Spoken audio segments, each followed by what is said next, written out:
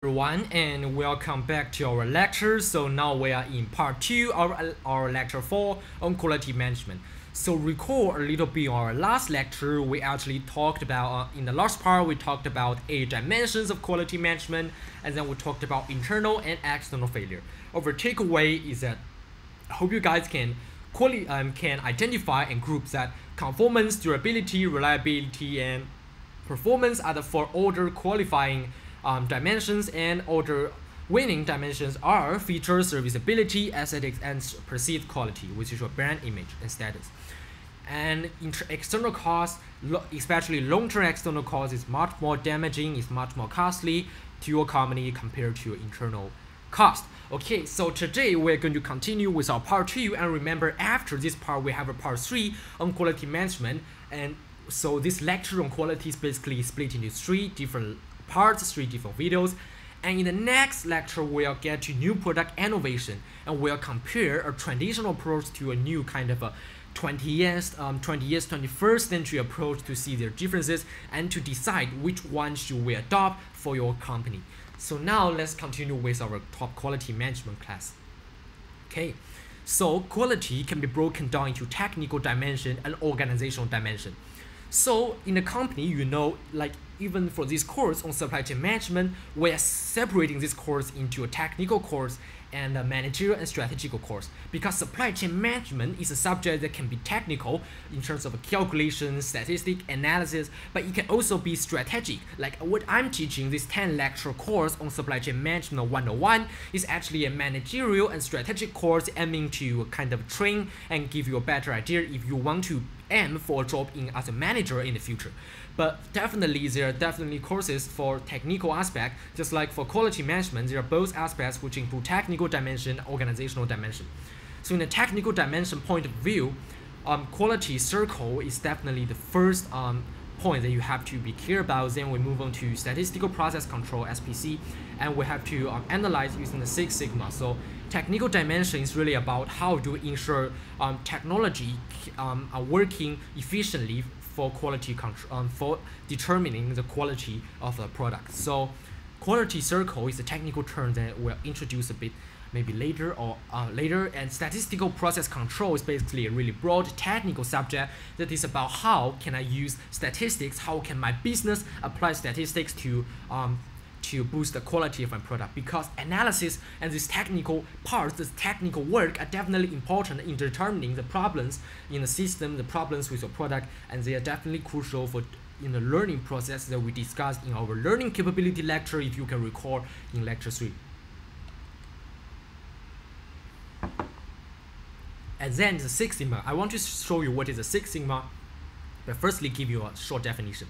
So the definition of Six Sigma is really straightforward, is to use a series of techniques of a processes in order to identify and prevent uh, future um, potential errors and defects on your product.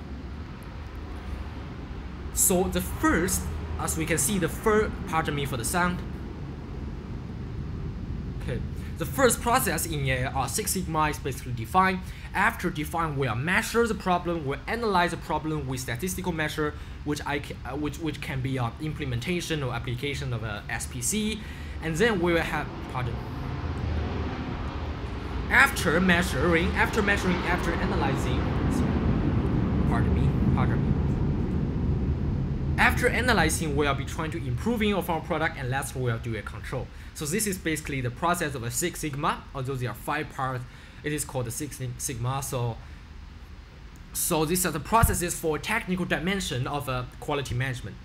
In the organizational point of view, this is about how do a manager apply his employees or her employees to try aim for quality, top quality management. So first of all, co command control with a top-down approach is definitely really important. So the command control is basically about giving command because if if you are a manager and you have some subordinates working for you, you can definitely delegate the task because you have the authority to do so. They are they although they are not forced, but they kind of have the um they have the responsibility to do work for you if you are kind of a manager and they are subordinates working for you. So definitely, yeah, command approach is definitely important in your company. So you assign tasks for your employees to uh, work on um work on fields related to quality control, quality management. It can be analysis, and it can be uh, you, you, it can be how to use some designs, how to use uh, technologies um, to kind of uh, boost our quality improvement.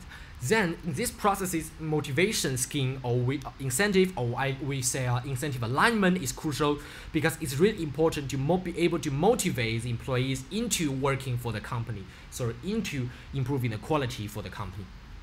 And then we are going to, as a manager, you have to try to empower customer orientation. What do I mean by that? It's basically you have to give more, assign more responsibility to those employees who have close contact with your customers. This is really important because those who have close contact to the customers will get a better idea of what are the preferences of the customers um, um, which can help you increase the quality of your product by increasing the utility as we discussed in our last part. Utility is definitely related to how good customer perceive your quality of your product. So although you are a manager, you have a lot of authority, you can make decisions.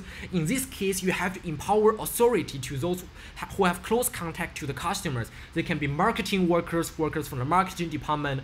Um, it can be people who are doing sales, who are, have direct contact to the customers, or customers, or all the employees who are conducting or, or working on market research. So it's definitely important to direct and delegate some power, delegate authority for these people, and, and try to give some incentive as well. So when they uh, when they finish their maybe day-to-day conversation with the customer, they can go back to discuss with the supply chain department, discuss with you and other executives, other managers, and he may share, he she may share some ideas related to how can I um, share some ideas related to what can we do because um, from what we found out the customers like the customers prefer the customers want our products to have then we try to implement this um, into our products as kind of features as kind of functions uh, maybe as kind of aesthetics aspect as well. So we try to uh, empower these uh, employees who have customer orientation opportunities. And then we are trying to improve our, and then we have to build our organization into a learning organization. If we recall from last lecture, we discussed about learning capability, and in learning capability, we actually focused about what is a learning organization. A learning organization is basically a company that acquires knowledge and use it for further learning, or use the knowledge to apply to solve to have more to solve problems with new insights and knowledge.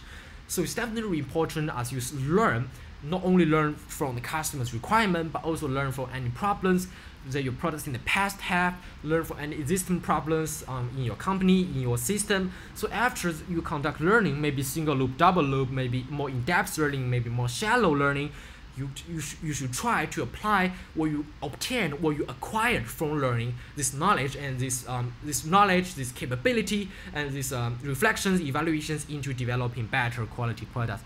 So I would say this is a really important technical dimension, organizational dimension. Uh, as a participant of this course here, I hope you guys can focus on more the organizational dimension because it is more straightforward as you guys are already able to understand this because they are more linked to the core of our course, which is a managerial and strategical um, supply chain management course. For the quality circle, SPC and Six Sigma is more for the information technology department to understand or if you are um, um, if you are aiming to become a technical person, which is also a valuable asset, a valuable job position, because company need people like that. If you're aiming to learn and in this path rather than more of a managerial path of a business administration path, you can definitely attend more lessons or in your own time you can read more about statistical process control and Six Sigma. Here I will suggest a bit of a book for you. So this is a AP statistics. What can you see? This is a AP statistics books. So in this kind of book, you're going to uh, learn more related to statistics, and I think they can really help you with um, business administration as well because statistics is really important in the business world and the finance world and economics world. You need a lot of um, as I am a finance student as well, you need a lot of statistics in order to identify and measure the risk, which we call as a um, which we call as a variability in finance to make uh, optimal and better investment decision. In economic statistics is definitely important for public economies, for microeconomies as a nation, and definitely for businesses. Statistics are also important, and that is application in microeconomics and definitely in our course in supply chain management, statistics are both important in marketing in sales orientation, in uh, business goals, um, in analysis, evaluations of product, and it's definitely really important in learning about your system um, in terms of application to learning. Whether you conduct single loop, double loop learning on different aspects, you have to have a statistic. So you can take more courses on your own time if you are interested in statistics, want to learn, more about statistical uh, process control, SPC, Six Sigma, you can definitely go deeper in this subject. Okay, so now let's look at the quality improvement dynamics. So is quality free? Definitely no. Um, a really important mm, message for you guys to understand is that as a manager or as a person who have authority to make investments inside a company to uh, allocate the assets of the company is really important to think about the long run. Why is it really important to think about the long run? Because sometimes sometimes managers are really desire to see short-term benefits. This is acceptable because sometimes short-term benefits can be important for cash flow and so. And I'm not saying that short-term benefits are not good, but sometimes you can save some costs for short-term benefits like uh, cash flow. You need to save some cash flow to pay debts, to buy some equipment, to run your machineries, buy your electricity. But more in most circumstances, investing in the long run is definitely more important because investing in the long run basically means you can see more benefits as time goes and your company in terms as a whole have more chances to level up in your higher position when you spend money in employee training, spend money in quality determining, quality improvement, so you boost more customer loyalty, you can improve more of employee's motivation, sometimes like that, employees loyalty as well.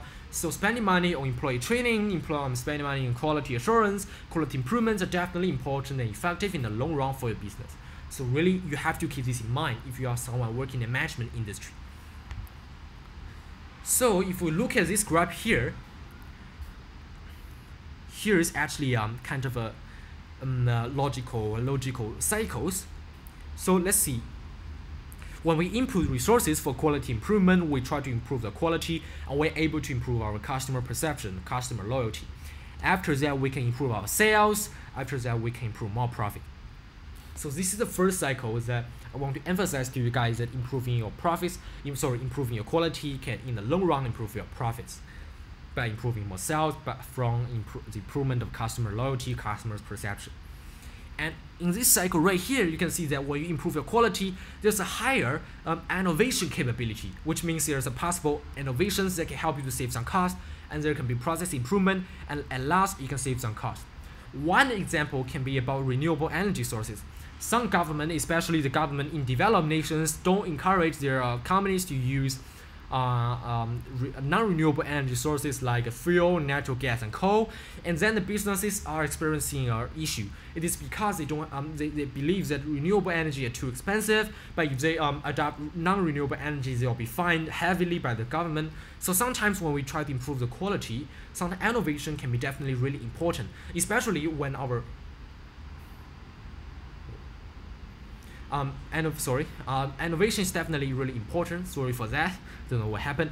Innovation is important, especially in the modern world, because sometimes sustainability has become more important um, than before. Because in the last century, in the industrial revolution, the economy was a focus point and employment but now, as people's wealth, average wealth rises, it is really important to be able to manage about the innovation because sustainability will be an issue, and many governments will take actions to limit the use of a kind of unethical business activities.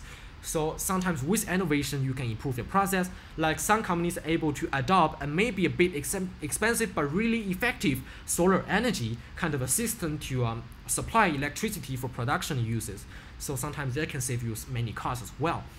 So this is a cycle, and this cycle actually goes in a positive way because the focus point of this cycle is that they believe the quality improvement can improve increase the profit. But is this a way that happens to all the companies? Definitely no. Only about 10% of business in the world success or even less. Most startups either fail or have little money that they cannot operate in the further term. This is because sometimes quality improvement can be costly.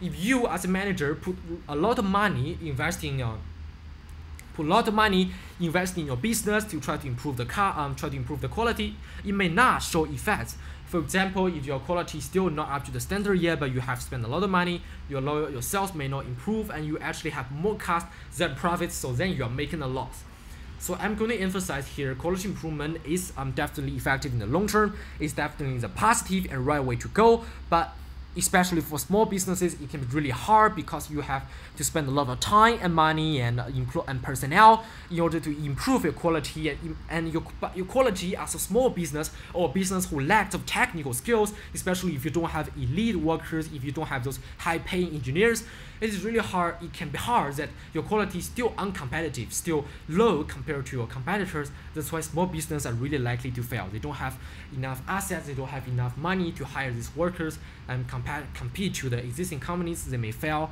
um, very fast, so you have to understand more about that. Okay, so this is the part two of our um, um, quality management course. So um, mm, uh, in this lecture, we discussed about quality management in terms of a technical aspect and organizational aspect. Then we discussed about the quality improvement dynamic, um, whether um, which we conclude that long run is definitely important for quality improvement. And in the next part, in part three of this lecture, we'll focus on more of a graphical and more technical parts. I mean, more technical part in terms of technical analysis and logic, not about the technical aspect. Because sometimes we, um, pardon me, Um, this is because uh, technical staff and some logical step are really important in making strategies for your businesses. Like in this case, you're using some um, technical aspects, using some basic uh, logical analysis to um, strategize what you're going to do. And, and then uh, we'll work on uh, analytical perspective, and then last we'll talk about statistical process control and more in overall part 3. So stay tuned and we'll discuss more of this in our part 3 of our lecture 4 on quality management. I'll see you then.